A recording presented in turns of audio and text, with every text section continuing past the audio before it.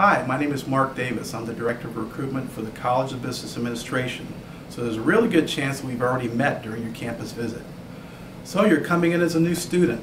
Well, I have some advice for you, and it is network, network, network. So what does that mean? It means that you need to start meeting as many new people as you can. You're now a member of our university community, and we have over 25,000 students. Now that's bigger than some of your hometowns. The best way to begin to fit into your new community is to network.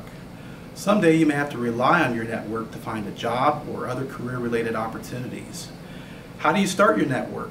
Well, first of all, try to meet as many new students as you can in your classes.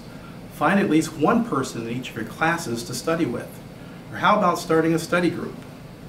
Join a student organization. We have over 20 different business clubs. You will meet other students who have similar career interests. You will also have the opportunity to connect with employers.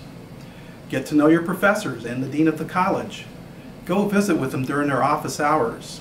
That's your opportunity to introduce yourself and give them a chance to get to know you. Your academic advisors can also be a part of your network. They hear about jobs and internships. Make sure to share your career, career interests with them as well. And remember, what you know is important, but who you know can be equally important.